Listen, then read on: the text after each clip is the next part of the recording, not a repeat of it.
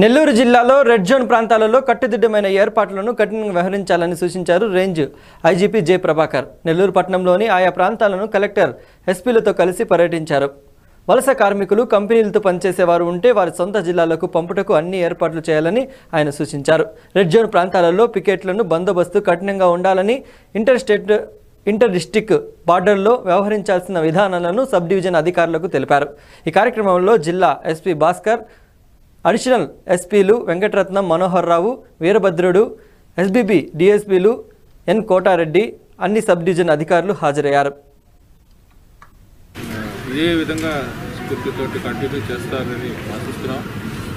అదేవిధంగా ప్రజలందరికీ కూడా ఒక టూ వీక్స్ ఇదే స్పిరిట్ తోటి లాక్డౌన్ని రూల్స్ని పాటించమని ఎవరు కూడా బయటికి రావద్దు అత్యవసరమైతే తప్పితే. ఎందుకంటే ఇంకా కాంటాక్ట్ ట్రేసింగ్ జరుగుతుంది ఇంకా టెస్టింగ్స్ జరుగుతున్నాయి. మ్యాక్సిమం టెస్టింగ్స్ చేశారు ర్యాండమ్ టెస్టింగ్స్ కూడా చేశారు.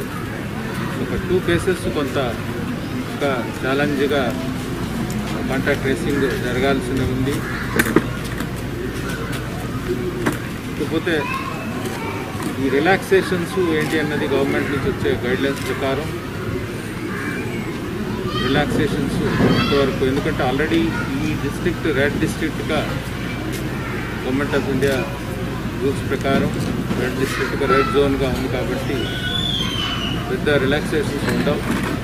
ఇప్పుడున్న పరిస్థితినే ఉంటుంది. ఒక అగ్రికల్చర్ వరకు పూర్తిగా ఆల్రెడీ రిలాక్సేషన్ ఉంది. అదే రిలాక్సేషన్ కంటిన్యూ అవుతుంది. ఇంకా డిస్ట్రిక్ట్ అడ్మినిస్ట్రేషన్ రివ్యూ చేసుకొని ఏవేవి ఎలిజిబుల్ రిలాక్సేషన్స్ ఉన్నాయి అవన్నీ కూడా ఆలోచన చేసి ఇంప్లిమెంట్ చేస్తాం సో మరొకసారి ప్రజలందరికీ కూడా విజ్ఞప్తి చేస్తున్నాం. లాక్డౌన్ని సిన్సియర్గా పాటించండి. ఎందుకంటే ఇది అందరి మన అందరి భవిష్యత్తు కోసం. ముఖ్యంగా ఈ వాతావరణంలో తెలియట్లేదు.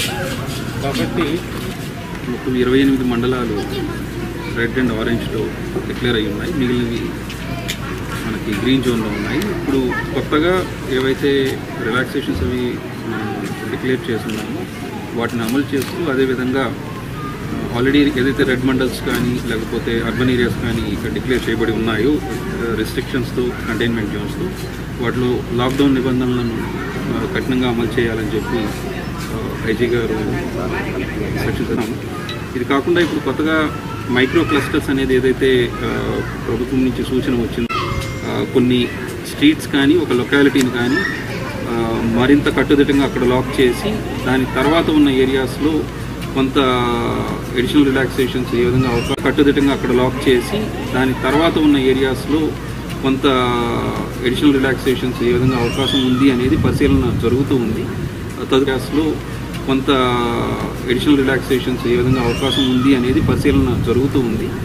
తదుపరి ఉత్తర్వులు వచ్చిన తర్వాత వాటి అమలు విషయం వికారాబాద్ జిల్లా పరిగి